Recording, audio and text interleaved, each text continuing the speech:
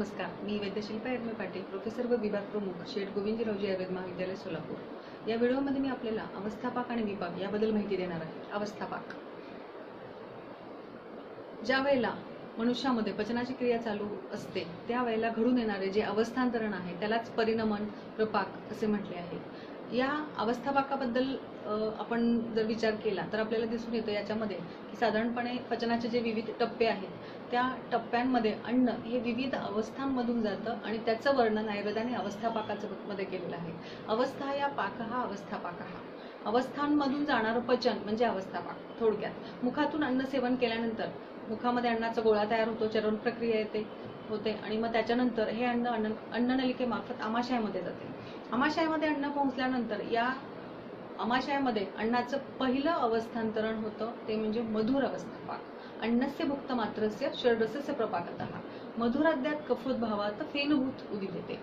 सेवन केलेला आहार जो कुठल्याही रसाचा असू दे आपण जो रुटीनली आपण जे काही आहार घेऊ आपण जे काही जेवण करू पोळी भाजी भात वरण जे काही असेल त्या कुठल्याही पद्धतीचा आहार घेतल्यानंतर पहिल्यांदा अमाशयामध्ये तयार होतो तो म्हणजे मधुर अवस्थापाक. म्हणजे थोडक्यात जलमहाभूताचं या ठिकाणी विघटन होतं. आणि या जलमहाभूताच्या विघटनासोबतच अन्नातील जे काही मधुर अंश आहेत ज- जलीय अंश जे आहेत त्याचं विघटन सुद्धा यावेळेला होतं. फेनुभूत अशा कफाचं उदिरण होत असल्यामुळं याला पहिला मधुर अवस्थापाक असं म्हटलंय. ज्याच्यामध्ये फेनुभूत कफ अन्नस्य मुक्त मात्रस्य सेवन केलेल्या आहाराचा पहिला रस कुठलाही असू देत आहाराचा चा परिणाम या अवस्थापाकावरती होत नाही. जे जे काही अन्न आपण सगळं घेऊ त्या सगळ्या अन्नाचं मधुरीभवन होतं. म्हणजे सगळा आहार जो आहे तो मधुर रसामध्ये रूपांतरित होतो. त्याला पहिला मधुर अवस्थापाक असं म्हटलंय. याच्यामध्ये बाह्य लक्षणांचा जर आपण विचार केला किंवा हा अवस्थापाक शरीरामध्ये चालू असताना बाह्य लक्षणं जी असतात ती म्हणजे अंगगौरव असतो. त्याच्यानंतर सुस्ती येते जडपणा वाटतो कुठलंही काम करावंसं वाटत नाही. जोपर्यंत अन्न आमाशयामध्ये आहे तोपर्यंत साधारणपणे कुठल्याही कामाची अथवा पुढचं अन्न घेण्याची इच्छा होत नाही. आमाशयात घडणारा हा प्रथम मधुर अवस्थापाक जो आहे त्याचा कालावधी साधारणपणे तीन ते साडेतीन तासांचा असतो. हा अवस्थापाक आपण सहजपणे ओळखू शकतो बाह्य लक्षणांवरनं. अवस्थापाकामध्ये रसाचं उदिरण होतं आणि त्याच्यामुळे शरीरावरती कफदोषाचं आधिक्य असतं. मधुर रस उदिरित होतो मधुरीभवन होतो. म्हणून हा पहिला अवस्थापाक हा कफदोषाधिक्याचा काळ सांगितलेला आहे. त्याच्यानंतर हे जे आमाशयामध्ये असणारं जे अन्न आहे ते पुढे जातं ग्रहणीमध्ये जातं आणि त्यावेळेला हा पूर्वीचा जो मधुरपणा जो होता त्याला आता आम्लता प्राप्त होते आणि म्हणून दुसरा अवस्थापाक आहे अम्ल अवस्थापाक परंतु पच्चमानस्य विदग्धस्य आम्लवाहता हा आशयाच्या अवमानाच्या पित्तमच्छ उदित ग्रहणीमध्ये आल्यानंतर आता या अन्नातील जे काही तेज महाभूत पदार्थ घटक जे आहे त्याचे विघटन होतं आणि या दुसऱ्या अवस्थापकामध्ये अन्नाला विदग्धता प्राप्त होते. विदग्ध अन्न जे असतं ते किंचित अम्ल अन्न आंबटपणा येतो. आधीचा जो सगळा मधुरपणा आहे तो निघून जातो आणि या ठिकाणी आंबटपणा आहे तो अन्न आम्लीय होतं विदग्ध होतं आणि या वेळेला कटू सॉरी पित्त दोषप्रधान किंवा आम्ल रसप्रधान अशा पित्ताचं या ठिकाणी उदिरण होतं. म्हणून हा जो अवस्थापक आहे दुसरा तो पित्तप्रधान अवस्थापक आहे. याच्यामध्ये अर्ध अन्न जे असतं ते अर्धद्रव अ अर्ध पसलेल्या अवस्थेमध्ये असतं. त्याला आपण विदग्ध भाव त्याला प्राप्त होतो असं म्हटलंय. या अवस्थापाकाचं जर आपण नियोजन केलं तर याच्यामध्ये देश महाभूताचं विघटन होतं. बाह्य लक्षणांचा विचार केला तर बाह्य लक्षणांमध्ये तहान लागणे. जसं तीन साडेतीन तास झाले की जेवणानंतर आपल्याला तहान लागते. तहान लागणे असतं. पचनाच्या प्रखर अवस्था असल्यामुळं त्यावेळेला उष्मा जाणवणे किंवा स्वेदस्त्राव होणं अशी पण लक्षणं दिसतात. साधारणपणे याचा कालावधी आहे सहा ते सात तासाचा. ग्रहणीमध्ये होणारा हा दुसरा अवस्थापाक जो आहे त्याला म्हणायचे आम्ल अवस्थापाक ज्याच्यामध्ये सगळं मधुर जे अन्न असतं ते सगळं आम्लीभूत होतं. याच्यानंतर ग्रहणीतनं अन्न पचनाची प्रक्रिया पूर्ण झाल्यानंतर पक्वाशयामध्ये येतं. आणि या पक्वाशयामध्ये जो तिसरा अवस्था भाग घडतो त्याला म्हटलंय कटू अवस्था भाग पक्वाशयं तु प्राप्तस्य शोषमानस्य वनिना परिपिंडित पक्वस्य वायुः सातकटुभा होता या ठिकाणी शोषमान्य अग्नीकडून जे आधीचं सगळं अन्न जे आम्लीभूत झालेलं असतं ते आता कटुभूत होतं त्याला कटुरस प्राप्त होतो. पचनाचा शेवटचा टप्पा पक्वाशयगत पचन जे आहे यामध्ये जवळपास पचनाची सगळी प्रक्रिया पूर्ण होत आलेली असते. आणि मग आता या ठिकाणी जो रस तयार होतो तो म्हणजे कटुरस तयार होतो. कटुरस आणि वातप्रधान असा हा हे आहे वा- या ठिकाणी पक्वाशयामध्ये वातदोषाचं उदिरण होतं. म्हणजे थोडक्यात कटु अवस्थापाक हा वायूचं आधिक्य असणार आहे. लक्षणांचा आपण बाह्य लक्षणांचा जर विचार केला तर बाह्य लक्षणांमध्ये यावेळेला हलकेपणा जाणवतो साधारणपणे एक दहा एक तासांचा हा कालावधी असतो आपण आहार सेवन केल्यानंतरचा. आणि यावेळेला पचनाची प्रक्रिया जवळपास पूर्ण झालेली असते. आणि याच्यामुळे मग शरीराला हलकेपणा येतो लघुता येते. तहाण्याची आणि भुकेची जाणीव अधिक तीव्र होते. कारण आधीचं जे अन्न असते ते जवळपास सगळं पचन झालेलं असतं. अशा पद्धतीचा हा कटू अवस्थापाक ज्याच्यामध्ये पूर्वीचं जे आम्लीभूत अन्न असतं ते आता कटू रसाचं होतं. अशा पद्धतीने अवस्थापाकाचं विवेचन करत असताना आपल्याला लक्षात येतं की अवस्थापाक हे टप्प्याने घडतात. त्या त्या विशिष्ट स्थानांमध्ये घडतात जी अन्नवस्तू तसाची जी विविध अवयव आहेत. त्या विविध अवयवांमध्ये त्या विविध स्थानांमध्ये अन्न पोहोचल्यानंतर त्या ठिकाणी अवस्थांतराची परिणमनाची क्रिया होते. त्याला प्रपाक किंवा अवस्थापाक असं म्हटलंय. पचन चालू असतानाच हे अवस्थांतरण चालू असतं. म्हणजे पचनाचे जे टप्पे आहेत ते आपल्याला वेगळे मांडायचे नाहीत जसं आपण आमाशयातील पचन लिहू त्याच वेळेला आमाशयामध्ये पचन क्रियेमध्ये मधुर अवस्थापाक घडतो. त्याच्यानंतर ग्रहणीमध्ये आम्ल अवस्थापाक घडतो आणि पक्वाशयामध्ये कटू अवस्थापाक घडतो. अवस्थापाक हे तात्पुरते असतात.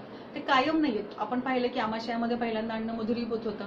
नंतर ग्रहणीमध्ये आल्यानंतर ते अम्लीभूत होतं. नंतर पक्वाशयात आल्यानंतर त्याला कटू रस प्राप्त होतो. अशा पद्धतीने अवस्थांतरणामध्ये रसाचं मध्ये बदल होत जातात आणि पचनाची प्रक्रिया जी असते ती तशी चालू असते. अवस्थापाक हा आपण ओळखू शकतो.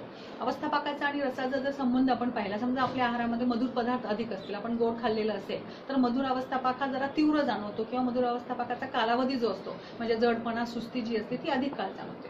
आपण आंबट पदार्थ खाल्ले असतील तर आम्ल अवस्थापाक तीव्र जाणवतो. आपण कटू तिक्त कषाय रस किंवा वृक्ष गुणांचा आहार घेतलेला असेल तर कटू अवस्थापाक आपल्याला तीव्र जाणवतो आणि कटू अवस्थापाकाचा कालावधी हा लांबलेला असतो. म्हणजे रसांचं सेवन कुठलंही असो अवस्थापाक क्रमाने तीनच घडतात. फक्त रसानुसार त्याची तीव्रता वाढते किंवा त्या महाभूत प्रधान त्या दोषप्रधान लक्षणं जी असतात ती आपल्याला तीव्र प्रमाणात जाणवतात. अवस्थापकानंतर पचन पूर्ण होण्यासाठी जो घडतो तो म्हणजे विपाक. जाठरेनाम अग्निनाम योगात यद उदंते रसांतरम रसानाम परिणामांते स विपाक इति स्मृतः अवस्थापाकामध्ये आपण पाहिले की अवस्थापाक अग्निसापेक्ष नाही आहेत किंवा अग्नीची क्रिया त्याला अपेक्षित नाहीये किंवा अग्नीची क्रिया जरी चालू असते त्यावेळेला अवस्थापाक घडतात. परंतु विपाकातनं पचनाची क्रिया पूर्ण होते आणि या विपाक घडण्यासाठी विपाक हा कायम स्वरूपाचा पाक असतो. त्याला निष्ठापाक असं म्हटलंय. विपाकाच्या वेळेला अग्नीची क्रिया होऊनच विपाक घडतात. आतापर्यंत अवस्थापाकामध्ये अवस्थांतरण झाले. विपाकामध्ये मात्र अन्नाचं पूर्ण पचन होतं आणि जाठराग्नीच्या क्रियेने शेवटचा कुठला तरी एक विपाक बनतो मधुर आम्ल अथवा होतो मधुर आणि लवण रसाच्या आधिक्याने मधुर विपाक बनतो. आम्ल रसाच्या आधिक्याने आम्ल विपाक बनतो आणि कटुतिक्त कशा रसाच्या अधिकाने कटु विपाक बनत. असतो म्हणजे आपण पाहिलं की आपल्याला लक्षात येते की विपाक हे रसावर अवलंबून असतात आहारामध्ये जो रस असेल त्याच्यानुसार विपाक घडतात आणि हे शेवटचं परिणाम नसतं म्हणून मग जाठराग्नीची क्रिया अपेक्षित असते आणि या विपाकाचा आपल्या शरीरावरती दोष धातू मलांवरती कायम स्वरूपाचा परिणाम होत असतो. म्हणून विपाक हे स्थायी आहे. विपाकांचा आपण विचार केला डिटेलमध्ये तर मधुविपाक जो असतो तो कफकर असतो शुक्रल असतो अं, सुष्ठविन्मूत्रकर असतो. म्हणजे मधुर आणि लवण रसांचा मधुर विपाक जो असतो तो सुष्ठविन्मूत्रकर असतो. आम्ल विपाक जो असतो तो बद्ध वि- तो सुद्धा सुष्ठविन्मूत्रकर आहे आणि तो त्यामध्ये पित्तदोषाचे अधिक असतात. कटू विपाक जो असतो तो वातकर आहे आणि बद्ध विन्मूत्रकर आहे. म्हणजे अवस्थापक आणि विपाकांच्या फरकाचा जर आपण विचार केला तर आपल्याला लक्षात येतं की अवस्थापाक अस्थायी आहेत विपाक स्थायी आहेत.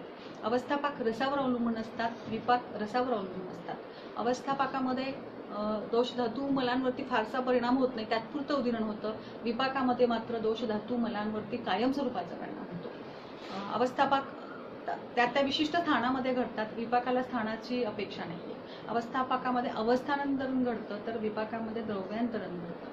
अवस्थापाक हे पचन चालू असताना घडतात तर विपाक हा पचन झाल्यानंतर घडतो. अवस्थापाक आणि विपाकामध्ये आपल्याला अशा पद्धतीने फरक दिसून येतो.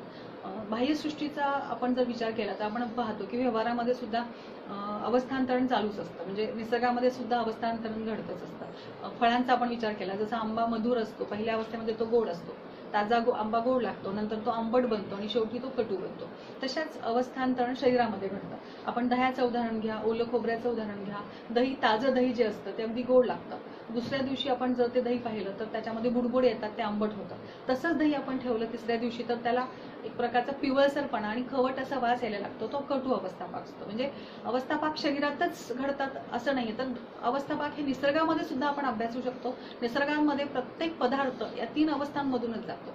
ताजे अन्न गोड लागते नंतर ते शिळं झाल्यानंतर आंबट बनतं आणि नंतर मग अजून तीन चार दिवसानंतर त्याला कटूपणा येतो. अशा पद्धतीने अवस्थापाक हे आणि विपाक हे पचनाच्या या दोन प्रक्रिया आहेत. अवस्थापाकातनं अवस्थांतरण होतं आणि विपाकातनं अन्नाला परिपूर्णता येते. विपाक हे कायम स्वरूपाचे असतात. अवस्थापाक आणि विपाकाचं विवेचन मला वाटतं आपल्या सर्वांना लक्षात आलेलं आहे. धन्यवाद. Thank you please like and subscribe